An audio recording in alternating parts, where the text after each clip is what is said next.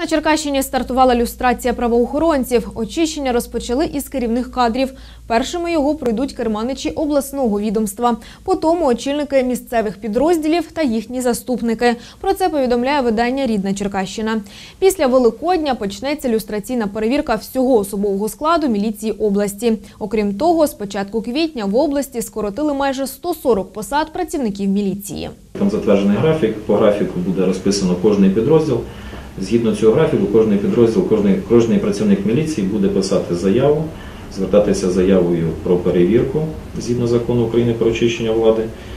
І останній підрозділ це буде десь в кінці червня буде перевірений. Ну і на протязі двох місяців надійдуть, надійдуть відповіді, і таким чином буде зрозуміло, чи людина пройшла дану перевірку, чи не пройшла.